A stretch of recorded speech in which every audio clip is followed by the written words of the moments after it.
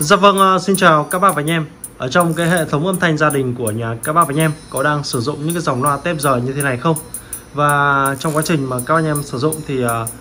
cái nguyên nhân gì dẫn đến cái việc mà các anh em thấy khó chịu nhất khi mà chúng ta sử dụng những cái dòng loa tép rời như thế này? Thì uh, các anh em nào mà đã dùng và cũng như đã có kinh nghiệm sử dụng những cái dòng loa tép rời này thì có thể comment xuống phía bên dưới nhá để đóng góp ý kiến cho cái video này của ở bên em nó được hoa hoàn hảo hơn, nó được hay hơn. Và với những cái dòng loa tép rời đây là những dòng loa mà để à, à, nó tái tạo những cái giải tần số cao để cho ra những cái tiếng như à, tiếng à, gõ của nhạc cụ à, tiếng va chạm của kim loại. Uh, những cái tiếng này nó làm bổ sung thêm uh, cái giải tươi sáng giải chi tiết của những cái dòng loa chép của giải âm chép ở trên những cái bản nhạc cho hệ thống âm thanh nó được tươi sáng hơn. Uh, nó được uh,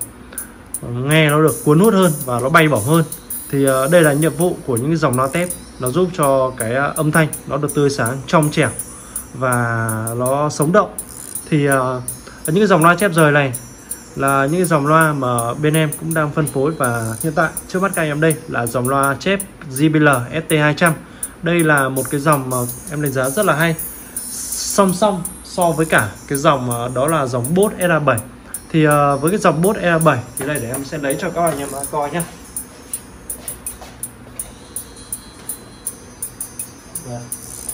đây. Là cái dòng loa tép bốt E7 đây. Đó bạn các bạn thấy sáng không rất là sáng luôn. À, với cái dòng loa Bose R7 đầu đoạn hỏa tiết này thì uh, ở bên em cũng uh, đang phân phối với mức giá rất là rẻ thôi thì uh, lát nữa cuối video em sẽ báo giá. Hoặc là các bác anh em nào mà cũng ờ, đã biết thì cũng có thể liên hệ trực tiếp với bên em thì bên em sẽ báo giá cụ thể. Vì là giá cả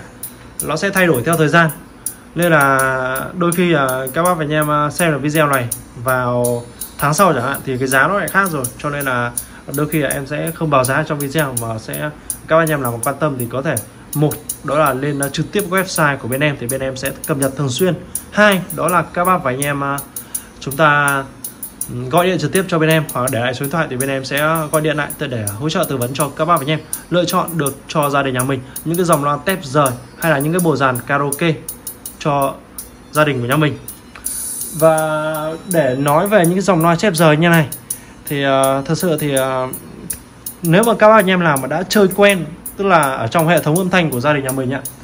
uh, các bác đã chơi quen những cái dòng loa tép rời rồi thì khi mà bỏ đi chắc chắn là các bác và anh em sẽ không chịu được cái cảm giác cái thiếu cái giải chép đấy rồi uh, ờ, nó làm cho chúng ta đang nghe quen tai của chúng ta nó đang nhận biết quen với những cái tiếng chép tiếng nhạc cụ ở trên những cái dòng loa tép rời này. Thì khi mà các anh em mà, mà bỏ cái uh, những cái giỏi loa chép này đi thì nghe chắc chắn nó không quen. Nên là những các bạn nào mà thích nghe giải chép nhiều thì uh, chắc chắn là sẽ sở hữu ngay cho gia đình nhà mình một cái đôi loa tép rời như thế này. Và về những cái dòng loa tép rời thì uh, trong quá trình mà em uh, đi ờ, uh, lắp thì uh, rất nhiều các bạn em cũng có nói đến cái hiện tượng đó là hú rít mic trong quá trình chúng ta chơi những cái dòng loa chép nhảy. Thì uh, nguyên nhân hú rít đó là việc uh, chúng ta chỉnh quá nhiều chép ở trên mic thì uh, dẫn đến tình trạng đó là hú rít mic thôi. Còn uh, nếu mà các bạn em biết chỉnh thì uh, chắc chắn là cái hiện tượng hú rít nó sẽ hạn chế xảy ra chứ không phải là không xảy ra. Nó sẽ hạn chế nhất định và bây giờ thì ờ, những cái dòng vang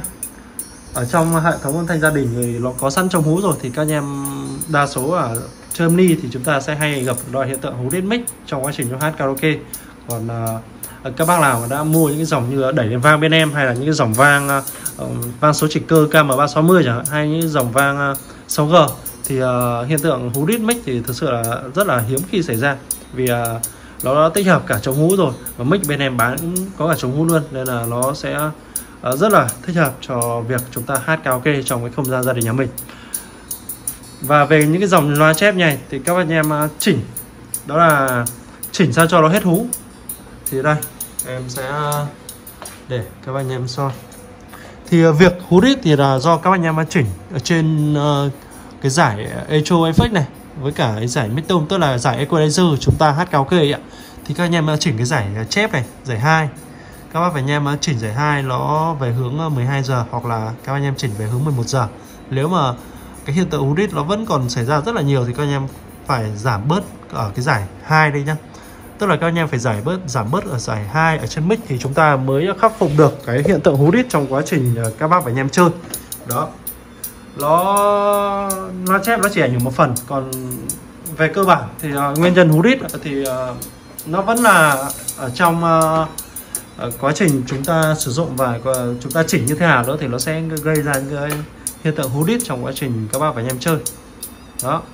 Còn uh, về cái dòng loa chép JBL ST200 này thì uh, bên em uh, đang bán với giá đó là một dòng uh, dòng đầu đoạn hỏa tiễn này thì uh, có bán với giá đó là 2,2 triệu. Còn dòng mặt cười này thì ờ, có bán với giá đó là 2,5 triệu. Thì các anh em nào đang quan tâm thì cũng có thể liên hệ trực tiếp với bên em thì bên em sẽ hỗ trợ tư vấn cho các bạn anh em uh, lựa chọn mua cho gia đình nhà mình những dòng loa tép rời với cái giá rất là rẻ. Đây là dòng loa chép uh, rời bãi Mexico nhé các bác. Và cái dòng này thì các anh em có thể đấu trực tiếp với cả đẩy niền vang âm ni hay là các anh em có thể đấu trực tiếp với cả cộng đẩy công suất của gia đình nhà mình nó rất là đơn giản. Hiện tại thì vừa lấy các anh em cũng có thể thấy thì em đang đấu với cả công đẩy vãng 7 DC. em đấu thêm cả đôi loa full này nữa nhưng mà em không bật loa full. Đó. Và bây giờ em sẽ mở to lên các anh em thưởng thức cái chất âm đến từ những cái dòng loa chép ở bên em nhé